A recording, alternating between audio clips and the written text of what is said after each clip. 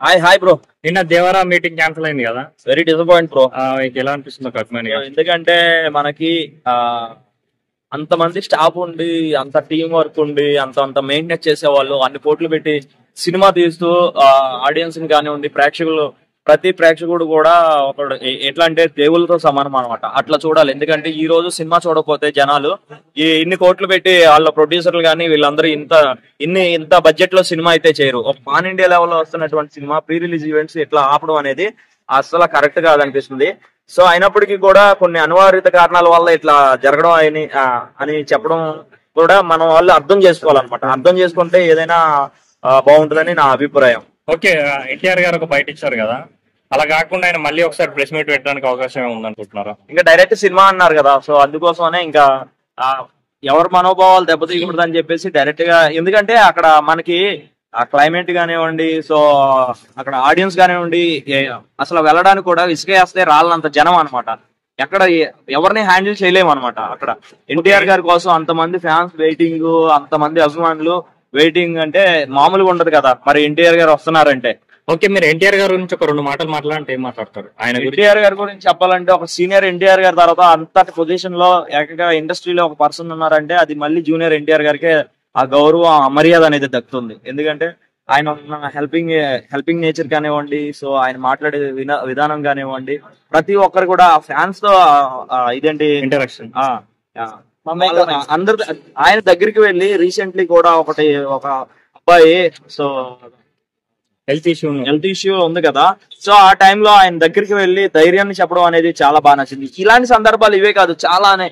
ఆయన గురించి ఒక మాటలో చెప్పలేము ఎన్టీఆర్ గారు అంటే మాకు ఎట్లా అంటే ఆ, కోస్తే బ్లడ్ వస్తేమో గానీ అందరికి ఎన్టీఆర్ వస్తాడు అనమాట అట్లా ఉంటది. అలాంటి అభిమానం మాకు. అంటే ఈ సినిమా ఒక్క రోజులోనే పక్క కలెక్షన్స్ రాసి పెట్టుకోండి. వెయ్యి కోట్లు పక్క కొట్టబోతుంది.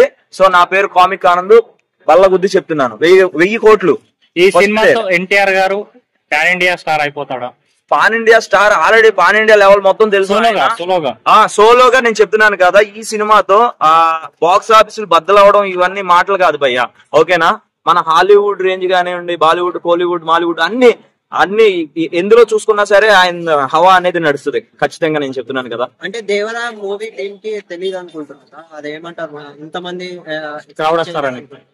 క్రౌడ్ వస్తారని క్రౌడ్ రావడం అనేది ఎక్స్పెక్ట్ చేయలేదు. అవునవును. అంటే ఇప్పుడు ఇప్పుడు ఎన్టీఆర్ గారి కోసం ఇప్పుడు టికెట్స్ కోసం నా మా మా రిలేటివ్స్లో కానీ మా ఫ్రెండ్స్లో కానీ నన్ను కూడా చాలా మంది అడిగారు అనమాట మనం ఏదో ఇట్లా హైదరాబాద్లో ఉంటున్నాం కాబట్టి మనం అడుగుతారు. ఎక్కడెక్కడి నుంచో శ్రీకాకుళం విజయనగరం ఎక్కడి నుంచో వచ్చినారు భయ్య? సో మరి అంత మంది క్రౌడ్ ఆపాలంటే చాలా కష్టం కదా.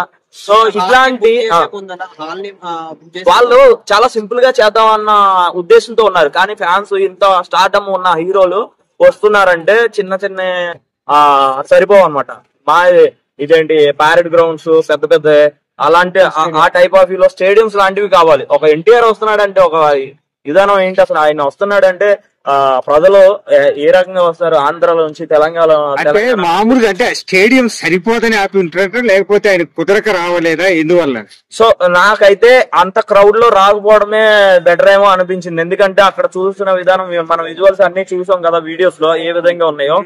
సో నేను కూడా వెళ్ళడం జరిగింది. డిసప్పాయింట్ అయ్యాను. అందరు కూడా డిసప్పాయింట్ అవుతారు.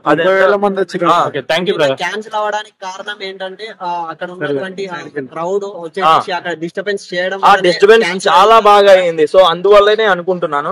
కాకపోతే అంత టీం టీం ఉంటది కదా దేవర టీం అంటే ఎంత ఉంటది? సో వాళ్ళు అంత ఏర్పాట్లు చేసుకునే విధానం నుంచి ఫస్ట్ నుంచి స్ట్రాంగ్గా చేసినట్టయితే ఇంత ఇప్పుడు సీఎం వస్తున్నాడు అంటే దానికి తగ్గట్టు ఏర్పాట్లు ఎలా ఉంటాయి? అదే రకంగా ఎన్టీఆర్ ఎన్టీఆర్ జూనియర్ ఎన్టీఆర్ వస్తున్నాడు అంటే ఆ రకంగానే ఉండాలి.